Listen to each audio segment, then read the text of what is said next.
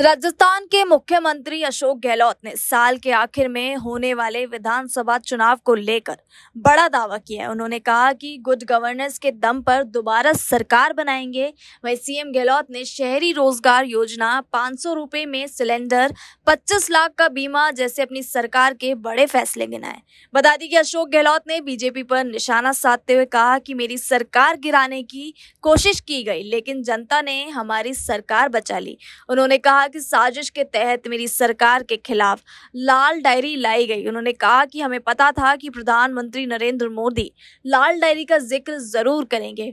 वहीं ये मणिपुर के मामले से ध्यान भटकाने की कोशिश की गई है। वहीं कांग्रेस के वरिष्ठ नेता और राजस्थान के सीएम ने सचिन पायलट के साथ अपने विवाद पर खुलकर बात की। उन्होंने कहा कि सचिन पायलट के साथ मिलकर राजस्थान चुनाव 2023 लड़ा जाएगा।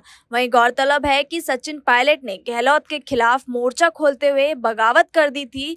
लंबे समय तक दोनों के बीच चल रही तकरार को कांग्रेस के शीर्ष नेतृत्व में हस्तक्षेप को खत्म कराया गया था। वहीं सीएम गहलोत ने विधायक राजेंद्र गुड्डा की लाल डायरी का भी ज़िक्र किया। उन्होंने कहा कि सब बीजेपी की साजिश है, सब कुछ पहले से ही तय था। उन्होंने कहा कि हमें पता था कि पीएम मोदी अपने दौरे पर लाल डायरी का ज़िक्र ज़रूर करेंगे। उन्होंने कहा कि कांग्रेस से बीजेपी घबराई हुई है और हमारे विधायकों के खिलाफ माहौल बना रही है। वहीं गहलोत ने कहा कि सचिन पायलट के साथ मिलकर चुनाव लड़ा जाएगा और दोबारा सरकार बनाई जाएगी।